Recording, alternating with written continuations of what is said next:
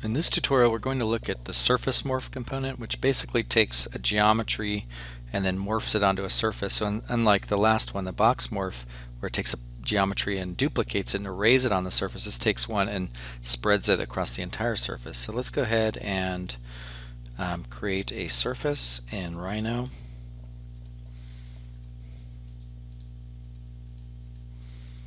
And then we'll just go to perspective view and then loft these two curves together.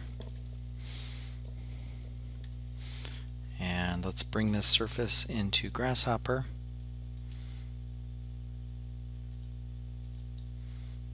Set one surface and then we can hide that surface when we're done. And now we want to create the geometry uh, to deploy across that surface. So one good thing to um, useful tool is to take this and create like a grid, like a diagrid, and then deploy that on the surface. So we'll go ahead and do that by using the triangular grid, which is located under vector grid triangular. And you could do this for any of these grids, and maybe we'll try a few here. Um, so I'm going to start by giving this a size. So we'll just do a slider 1 to 40. Um, and then we'll use that for the um, the x dimension, the y dimension, so the number of cells, number of rows, and the number of columns um, in the grid. So you can see the grid being made over here. And um, then the next is the size. So let's do a floating point slider here. One is less than 20. Plug that into the size. Great, so that's the, the size of the grid, which actually won't really matter because it'll get uh, formed uh, according to the size of the surface. So this size will be overridden as it deploys that. So the next thing we need to do is deconstruct the domain, which is, um, there's actually a few of these. So if we go under sets, under math domain, we would like to deconstruct the domain and it is this second one here. So what I'm trying to do is get the U's and the V's from the existing surface. So you can see there's quite a few deconstruct domains in this one in case we want the outputs to be the U and the V domain of that surface. So we'll plug our surface in there. And then the other thing we want to do is um, whenever you're like proportionally deploying something over a surface, you don't care about the actual dimension of the U or the V in the surface. This is a good time to reparameterize your surface so it's going from 0 to 1 in both directions and it's not worrying about the actual units and lengths of, of the surface. So we're going to go ahead and right click and reparameterize that. Then the next thing we need is let's actually extrude this diagrid so it's actually got a geometry and it's not just a curve pattern. So we're going to plug that in there. Let's give it a unit z dimension. So we'll extrude it vertically and then we can just copy and paste the slider here and that will give it a little bit of thickness. So there we have a, a kind of thickness to this thing. And then um, anytime you're morphing one thing into another, you need to use a bounding box on the geometry that you're trying to morph. So we're going to plug our extruded surface into the bounding box. And now one important thing with the bounding box is that right now you can see based on this fancy wire that we have a list of lists coming out of this extrusion. So when it makes a grid, each of these cells are considered separate objects. And you would think that you could just union the box. But the problem is it's still, these are in different lists. So it only, when you union a box, it only unions within one list. So it can't union multiple lists together to each other. So in order to get all of these, so you can see they're in separate lists, into one list that you can then union, you have to right click on the um, data that's coming out of there, the geometry, so into this input, and you need to flatten it. So by flattening it, you can see if I now plug this, it just puts everything into one box that can be union together. So for example, if I turn that off, they're all in one list and that would be um, per object so each of these are separate objects but because they're in the same list list I can right click and union them all with one bounding box. Okay so the next thing we need is a surface morph and this is located under um, right here under transform morph surface morph and this takes your geometry which is going to be this extruded diagrid that's what we want to deploy on the surface um, right there. The reference is always the bounding box that surrounds that geometry or includes that geometry. We then of course have our surface, which is this one here. And then this is the existing domain of that surface that we extract using this deconstruct domain. So the u's will go into there, the v's will go into there. And then the last thing we need is a height.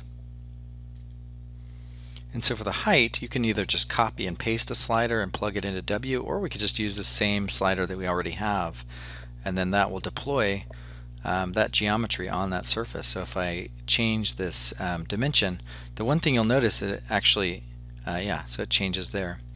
Um, but it's a little slow because it's a lot of geometry, so you just have to keep that in mind. So it's another uh, trick is to make this um, this grid much smaller to begin with, and then change your values and then you can increase them later. Otherwise it can take a, a, quite a while to compute some of these things.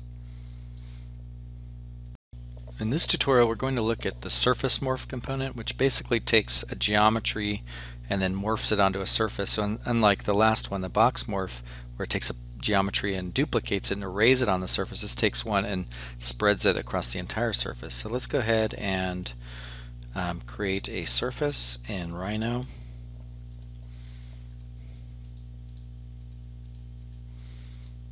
we'll just go to perspective view and then loft these two curves together.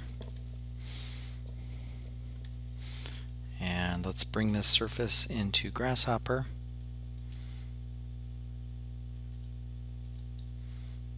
Set one surface and then we can hide that surface when we're done. And now we want to create the geometry uh, to deploy across that surface. So one good thing to um, useful tool is to take this and create like a grid, like a diagrid, and then deploy that on the surface. So we'll go ahead and do that by using the triangular grid, which is located under vector grid triangular. And you could do this for any of these grids, and maybe we'll try a few here. Um, so I'm going to start by giving this a size. So we'll just do a slider 1 to 40 um, and then we'll use that for the um, the x dimension, the y dimension, so the number of cells, number of rows, and the number of columns um, in the grid. So you can see the grid being made over here. And um, then the next is the size. So let's do a floating point uh, slider here. One is less than 20. Plug that into the size. Great, so that's the, the size of the grid, which actually won't really matter because it'll get deformed uh, according to the size of the surface. So this size will be overridden as it deploys that. So the next thing we need to do is deconstruct the domain, which is, um, there's actually a few of these. So if we go under sets, under math domain, we would like to deconstruct the domain and it is this second one here. So what I'm trying to do is get the U's and the V's from the existing surface. So you can see there's quite a few deconstruct domains in this one in case we want the outputs to be the U and the V domain of that surface. So we'll plug our surface in there. And then the other thing we want to do is um, whenever you're like proportionally deploying something over a surface, you don't care about the actual dimension of the U or the V in the surface.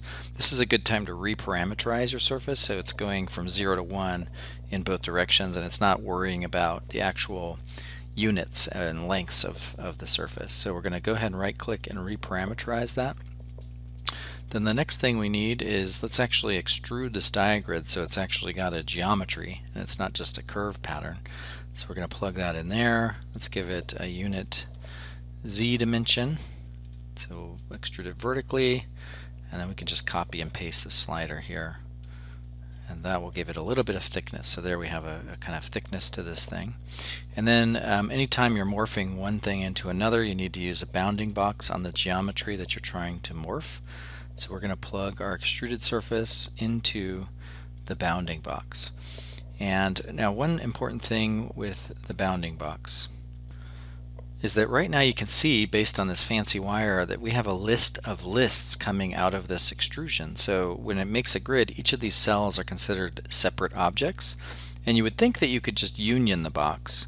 But the problem is it's still, these are in different lists. So it only, when you union a box, it only unions within one list. So it can't union multiple lists together to each other. So in order to get all of these, so you can see they're in separate lists, into one list that you can then union, you have to right click on the um, data that's coming out of there, the ge geometry, so into this input, and you need to flatten it. So by flattening it, you can see if I now plug this, it just puts everything into one box that can be unioned together. So for example, if I turn that off, they're all in one list, and that would be um, per object, so each of these are separate objects, but because they're in the same lift, list, I can right click and union them all with one bounding box. Okay, so the next thing we need is a surface morph, and this is located under um, right here under transform morph surface morph and this takes your geometry which is going to be this extruded diagrid that's what we want to deploy on the surface um, right there the reference is always the bounding box that surrounds that geometry or includes that geometry. We then of course have our surface, which is this one here. And then this is the existing domain of that surface that we extract using this deconstruct domain. So the U's will go into there, the V's will go into there. And then the last thing we need is a height. And so for the height, you can either just copy and paste a slider and plug it into W, or we could just use the same slider that we already have and then that will deploy um, that geometry on that surface. So if I change this um, dimension, the one thing you'll notice is it actually, uh, yeah, so it changes there. Um, but it's a little slow because it's a lot of geometry, so you just have to keep that in mind. So it's another uh, trick is to make this um, this grid much smaller to begin with, and then change your values, and then you can increase them later. Otherwise, it can take a, a, quite a while to compute some of these things.